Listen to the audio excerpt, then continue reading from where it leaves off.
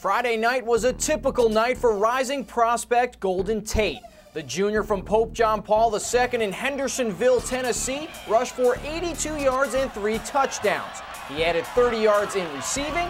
He also had a 96-yard kickoff return for a touchdown, plus a 55-yard kickoff return. Not to mention he played a little defense as well. And of course, his team did win. The line did a great job tonight. I mean, receivers got the outside open by blocking and stuff. I mean, I just wiggled on around, and I mean, I did what I can, and I mean, I guess it paid off. Tate can beat you in multiple ways, and colleges are starting to take notice of this emerging talent. In seven games played, Tate has scored 16 touchdowns.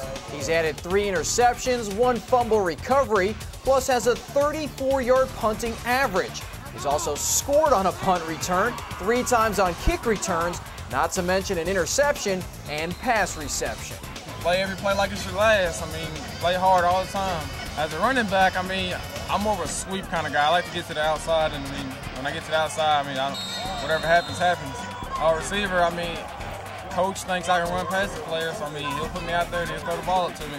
On defense, I mean, I'm more of a, I just cover the best receiver make, try to make sure he doesn't break one long and keep the game close. Well, he, he brings everything from scouts to touchdowns to first downs to anything, anything you need, interceptions. He's just great. He's just a great player all around. I think he's the best player in the state. Golden doesn't have any offers yet, but the letters have been arriving. I'm getting contact by quite a few actually. Vandy, UT, Auburn, Colorado, Stanford, Mississippi State. It's still early in the process, but Tate knows he probably wants to get away from home. He says Tennessee is the closest school he'll think about.